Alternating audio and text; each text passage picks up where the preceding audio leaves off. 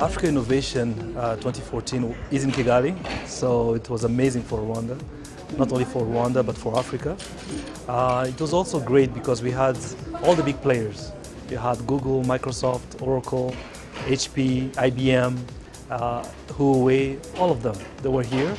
I think Innovation Africa was um, was really a, a strategic time where we all realized that the entire Africa, African continent, is now believing in e-learning, believing in digital content, believing in changing the strategy where the teacher is moved from being the, the center of knowledge to the, to the facilitator, to the moderator.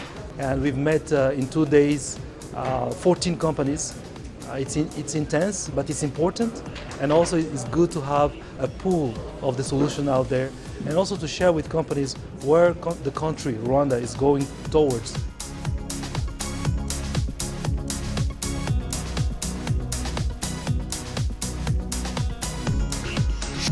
Excellent, excellent. Uh, I've really enjoyed it, um, probably more than all the others. And as you know, I have participated in four of them. It's very productive, the discussions during the, the, the, the meetings, um, the discussions with uh, stakeholders and partners, uh, Microsoft, Google, um, uh, what have you, they were all there. And I think those discussions were very useful for Kenya in terms of understanding a little more what these organizations do and Kenya strategizing how to work with these, collaborate with these organizations for purposes of supporting uh, ICT, especially application of ICT in education.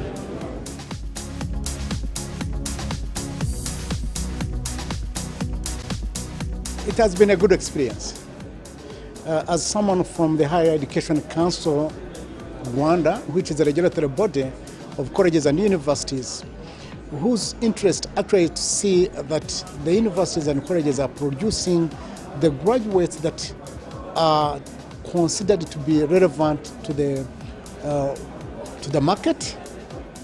And having realized that what has been complained about is the gap, such a summit is a good one, where, whereby the innovations, the possibilities of closing the gap by bringing the private sector, the industries, and the academia, trying to show how ICT can be an enabler of all these things without destabilizing the running of systems.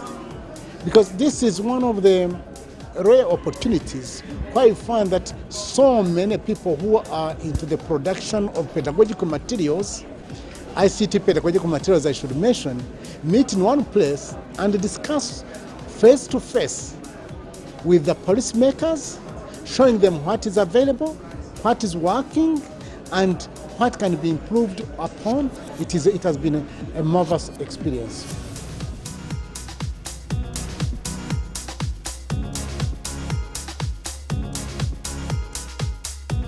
Uh, this is my first time to, to participate in the summit, but Burundi has been invited. Burundi will, will get many things from this because, uh, especially from those uh, uh, panel sessions, we learned much from the exchanges of best practices from other part, parties, from other partner states. We have learned many things uh, about challenges, about uh, solutions, about uh, strategies to, to adopt as to find solutions on those challenges. I have been attending uh, various summits.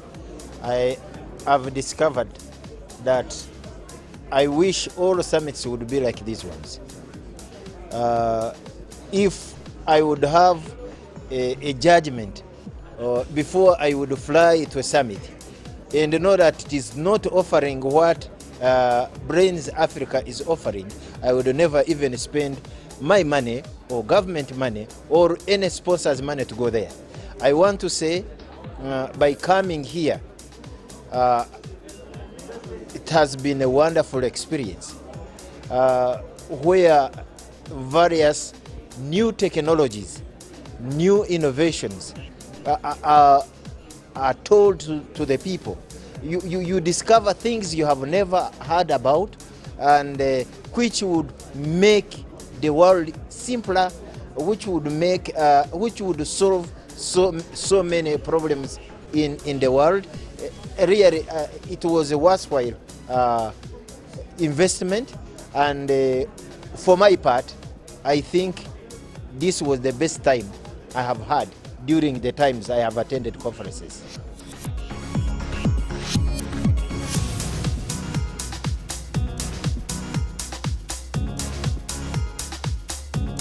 My experience has been very good. It was a very rewarding um, ex- ex- experience in the sense that I got to understand how much potential there was in terms of technology driving education and wh- where we need to go as a continent in Africa. Um, I think my my favorite part was listening to some of the kids who are having an experience with one of the products here in Rwanda. Um, the fact that that project has only just started and we could actually see um, the results and the potential for where it can go to. So I think that that was very re- rewarding. Uh, this was the first time that I was experiencing the scheduled meetings, um, and I thought that that was a fantastic idea. In the past, when I've been to events like this, um, usually you're, you're rushing around and exchanging business cards, but you're not actually meeting anybody. So I think that, again, that made it very, very rewarding.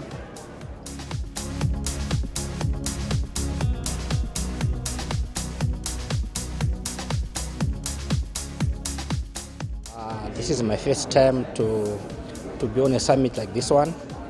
Uh, it's been an eye opener.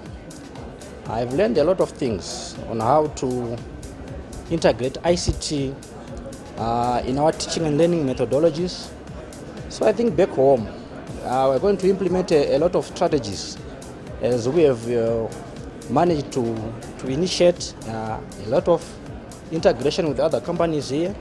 So I think we're going to benefit a lot, especially in terms of ICT, connectivity, and uh, the type of hardware which are being used by other countries. So I think it's been- very grateful for, for especially for me as an IT personnel in my my Ministry of Education. So basically, I'm going to to do a lot to to implement what I've learned here, what I've managed to, to, to grasp here from the technocrats, from other ministries and the other government. So uh, I really appreciate my, my, my presence for, for being part of this great initiative. Thank you very much.